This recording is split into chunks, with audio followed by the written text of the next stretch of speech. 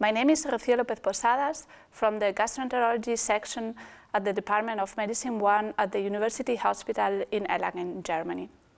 With a focus on inflammatory bowel disease and colorectal cancer, our research tries to identify pathways controlling epithelial homeostasis, which could be exploited for the treatment of patients. It is my entire pleasure to guide you through this video presentation of our study recently published in Gut entitled Epithelial RAC-Dependent Cytoskeleton Dynamics, Control Cell Mechanics, Cell Shedding, and Barrier Integrity in Intestinal Inflammation.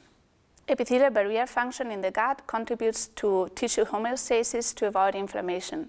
Therefore, epithelial turnover has to be tightly regulated to guarantee barrier function. Physiological cell shedding allows the renewal of the epithelium without compromising barrier function, while pathological cell shedding has been associated to permeability defects in chronic intestinal inflammation. In this study, we investigated the role of live cell extrusion in alterations of epithelial integrity contributed to inflammatory bowel disease pathogenesis. Taking advantage of genetically engineered mice, intravital microscopy, advanced imaging techniques, mechanobiology, organoids, and RNA sequencing, we analyzed cell shedding alterations in the gut. Moreover, we examined gut tissue and intestinal organoids from IBD patients. Cell intrinsic phenomena upon inhibition of prenylation within intestinal epithelial cells led to permeability defects in mice, supporting our hypothesis of epithelial barrier defects as cause of intestinal pathology. The analysis of epithelial turnover suggested an early arresting of cell shedding on deletion of PGGT1 beta within intestinal epithelial cells, leading to cell overcrowding.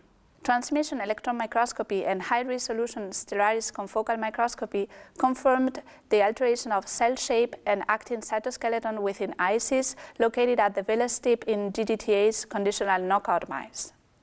To identify alterations of cell mechanics, we analyzed freshly isolated ICs via real-time fluorescence deformability cytometry. Shortly on PGGT1 deletion, GGTase-sufficient ICs are characterized by a decreased Young's modulus, indicative of increased deformability. Among prenylation targets, we identified RAC1 as a key player for intestinal epithelial homeostasis. Newly generated mice carrying RAC1 deficient ICs showed a significant barrier function breakdown as well as sign of cell shedding, arresting, overcrowding, and cytoskeleton rearrangement within intestinal epithelial cells. Strikingly, experiments with organoids indicated the occurrence of primary epithelial alterations. For instance, 3D traction force microscopy revealed outward directed deformations indicative of force relaxation in GGTase and RAC1 deficient organoids. We then analyzed the correlation between cell shedding and intestinal leakage in gut tissue samples from IBD patients.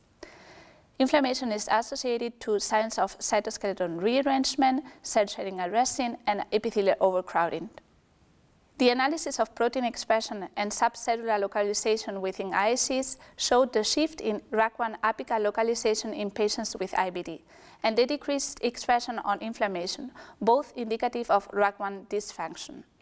RAC1 function can contribute to cytoskeleton rearrangement within intestinal epithelial cells, contributing to epithelial homeostasis in patients with IBD in a mechanism related to cell shedding.